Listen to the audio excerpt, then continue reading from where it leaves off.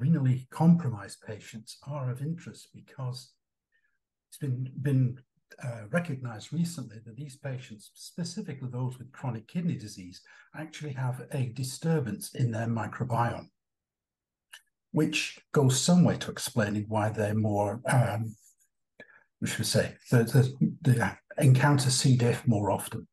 And if they have renal uh, complications, the outcomes of those infections are more complex.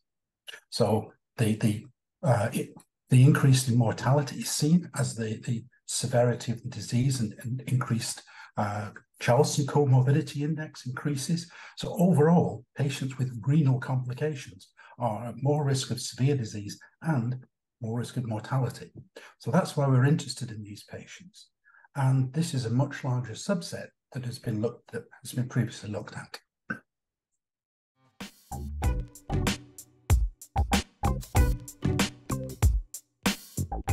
Right, the microbiome is is recognized in, in the GI tract as being the big player.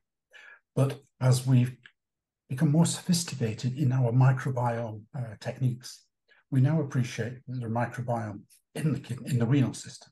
There is one in the liver. And I was surprised to learn recently there is actually a microbiome in the brain, principally viruses, but there is still, and so there are, there are bugs in virtually every part of our body. So there is a communication system between the kidneys and the various um, molecules and metabolites that they produce. And those metabolites have an impact on the bowel. And that affects the bowel flora.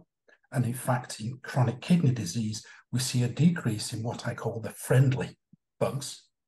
And those friendly bugs disappearing enable organisms like C. diff to get a foothold and cause disease.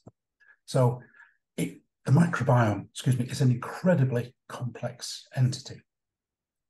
And it ain't just in your bowel, it's everywhere.